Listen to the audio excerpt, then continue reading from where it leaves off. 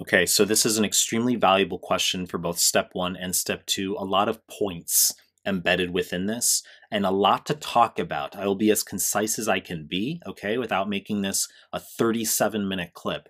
We have 31 year old woman, 30 minute history of diffusely severe abdopain, could be many different things. We keep reading. Her vitals are temperature elevated, 99.8 Fahrenheit, heart rate 95, slightly tachycardic, above 90, respiratory rate 18, slightly tachypneic, uh, normal range 12 to 16 per minute, blood pressure elevated at 150 over 90. We can't make any conclusions yet. For instance, could it be infection? Maybe it's not. Uh, in, a, in situations of acute distress, even if there's no infection, sometimes uh, the, the vitals can be awry. So we can't make any conclusions yet. We merely just uh, are ascertaining that there might be a scenario of acute distress. Physical examination shows a soft abdomen without guarding. Now, guarding can be voluntary or involuntary. Voluntary guarding is the patient actively contracting the abdominal muscles during the physical exam to avoid pain. Involuntary guarding is the patient, irrespective of the physical exam, has rigid contraction of the abdominal muscles due to peritoneal inflammation for USMLE. This is classically pancreatitis. Bowel sounds are normal. Uh, many different etiologies of uh, changes in bowel sounds. High pitched bowel sounds can reflect partial intestinal obstruction. Absence of bowel sounds can reflect complete intestinal obstruction, can also reflect uh, postoperative ileus, patients had surgery. Ogilvie syndrome, okay, different causes. Bowel sounds, uh, medical term is borborygmi. It's a term that's shown up on one of the two CK forms, so you need to know borborygmi. I know, very fucking word, very fucking weird word if you haven't heard of it before. Um, but that's uh, that's on one of the two CK forms. She traveled to India three months ago. Uh, actually, unrelated to this question, I just decided to throw that in there to be an asshole, like I am sometimes. Uh, her only medication, propylthiouracil. Now, this is significant. Propylthiouracil is a treatment for hyperthyroidism. This patient could, by all means, have Graves. Uh, propylthiouracil is a thyroperoxidase inhibitor, also has a secondary mechanism of action, which is an, it inhibits 5-deiodinase. That's the enzyme that uh, peripherally converts T4 to T3. In contrast, tangentially, methimazole only inhibits thyroperoxidase. It does not uh, inhibit 5-deiodinase. Propylthiouracil uh, causes agranulocytosis, which is a, neutropenia, as does methimazole. And propylthiouracil uh, can cause hepatotoxicity. Okay, a lot we can talk about. I want to stay focused. So uh, serum studies show white blood cells at 11,000 per microliter, normal range 4 to 11,000. So we can say that this is borderline elevated white blood cells. Serum lactate is elevated. Uh, lactate slash lactic acid will increase in settings of anaerobic respiration. So this might reflect an ischemic process ensuing in this patient. The abdominal x-ray is shown and is completely normal. Now, I have in previous questions thrown in normal x-rays to be an asshole. This is actually pertinent to this question, as I'll talk about the diagnosis in a moment. An abdominal x ray is frequently ordered and is notably often normal. Okay, so what's the diagnosis here? Choice A, arterial embolism, is correct. The diagnosis is acute mesenteric ischemia. Now, a lot to talk about. I'm going to try to be concise, okay? There's acute mesenteric ischemia and there's chronic mesenteric ischemia. Acute mesenteric ischemia is when you have usually an embolus launching off from the left atrium in the setting of atrial fibrillation to the SMA or the IMA. Okay, this patient has hyperthyroidism, and this is a very common cause of atrial fibrillation.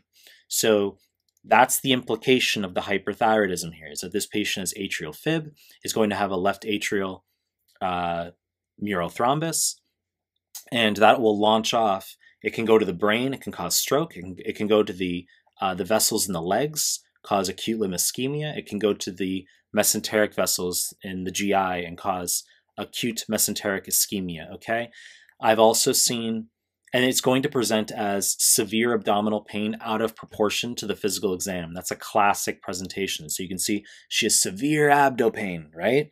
But then the physical exam is otherwise not too crazy. It's, it's fairly unremarkable, right? So that's pain out of proportion to the physical exam. That's uh, acute mesenteric ischemia. Now, I said I've seen mesenteric ischemia, acute mesenteric ischemia questions that are uh, atrial fibrillation. I've seen defibrillation. Okay, on one of the two CK forms, they said uh, a woman was defibrillated and had acute mesenteric ischemia. You can also get acute on chronic. Now, this is where it gets a little bit confusing, but it's very valuable for you for USMLE. Okay, it's gonna be good. Chronic mesenteric ischemia is going to present very similarly to what sounds like a duodenal ulcer. It's going to be pain one to two hours after the patient eats a meal. However, in chronic mesenteric ischemia, the vignette is going to be generally an older patient with a very significant cardiovascular history. They might say intermittent claudication, history of stroke, uh, coronary artery bypass grafting, and gets pain one to two hours after meals. That's atherosclerosis in the mesenteric vessels. If you have atherosclerosis in the coronaries and the legs, causing intermittent claudication, and the carotids causing stroke, it makes sense that you'd get atherosclerosis in the mesenteric vessels as well, supplying the GI tract. So that's pain one to two hours after meals. And the vignette is all about cardiovascular history. That's chronic mesenteric ischemia. That's different from acute mesenteric ischemia, which we just said was is severe acute abdominal pain, uh, usually in the setting of atrial fibrillation or a defibrillation. Okay, duodenal ulcer is going to be pain one to two hours after meals in, e.g., a 29 year old dude from Indonesia, right? And they don't mention any cardiovascular history.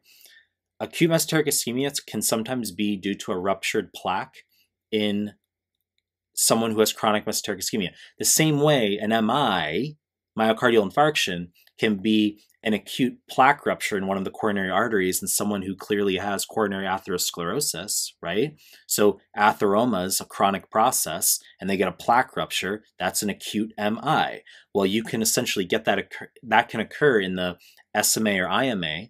So acute on chronic, that's the third way that acute mesenteric ischemia presents. Acute on chronic or ruptured plaque, defibrillation, atrial fibrillation. So this is an arterial embolism, okay, on someone who has hyperthyroidism. Mesenteric thrombosis, wrong fucking answer, it's a distractor. This isn't a thrombosis. A thrombosis is merely a plaque rupturing within a vessel. If this were acute on chronic, that's a thrombosis. Okay, that would be acute mes- sorry, that would be mesenteric ischemia, acute on chronic, and that and thrombosis would be correct. An embolus, however, travels. Okay, so you have an embolus. It was a, it was a left atrial thrombus that traveled to the SMA or IMA. It is now called an embolus now that it is traveling.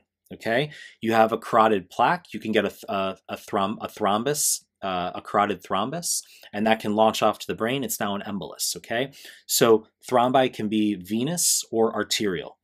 Now, uh, so this is arterial embolism, the correct answer. Uh, mesenteric thrombosis, wrong answer.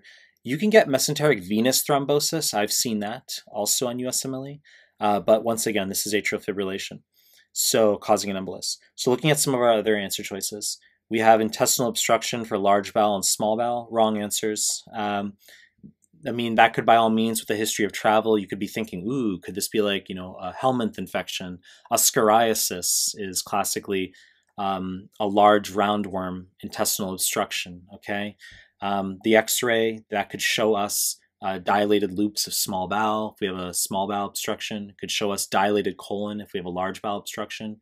Um, you know, sometimes in elderly patients you get a coffee bean appearance if you have uh, sigmoid volvulus, but this X-ray is showing us no abnormalities. So ischemic colitis is, is a high yield contrasting diagnosis with uh, mesenteric ischemia. It's not to be confused.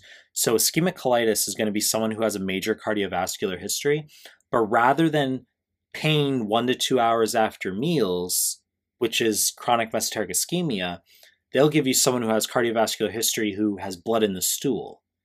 And that's due to ischemic ulcers at the watershed areas, splenic flexure, rectosigmoid junction. Okay, so if they give you 66 year old dude with diabetes, intermittent claudication, history of stroke uh, or cabbage, and he has fecal occult blood positive, obviously you have to think about things like colon cancer, diverticular bleed, bleed etc. But that's ischemic colitis, okay? And it's due to uh, water uh, ischemic ulcers in the colon at the watershed areas. Don't confuse that with a chronic mesenteric ischemia, which is pain one to two hours after meals, okay? Ruptured abdominal aortic aneurysm, good distractor here there's no reason why uh, this girl would have an abdominal aortic aneurysm. smoking is the most common cause in males, generally over the age of 55. Okay, a 2ck level detail, and it's still even lo- it's low yield for 2ck that you can do a one-off abdominal ultrasound to screen for AAA in high-risk patients that are males, ever smokers over the age of 55 uh, where you believe a AAA is possible, you can do an ultrasound. But why am I mentioning that here? Is because a woman who we who, who's young, who we don't mention anything about smoking, AAA is going to be unlikely in her. Okay, even if she had a connective tissue disorder like Marfan or Ehlers-Danlos, it's not as common to get aortic uh, aneurysms in the abdomen. It's more thoracic that those would occur. Um, and in the very, very acute stages of shock, of hypovolemic shock, blood pressure can, actually go up in stage one due to sympathetic activation, and then it will quickly fall in stage two shock. Um, but this is not a ruptured abdominal aortic aneurysm, okay? Uh, I have seen questions on that, and they will give you a low blood pressure if that's the case. So, look, a lot we can chat about. I know this can be confusing uh, if you're first learning these topics. I wanted to try to keep this clip uh, on more on the concise end without making it 37 minutes. So if you liked this question, I'll obviously make more and subscribe to my channel. And I appreciate your time. That's it.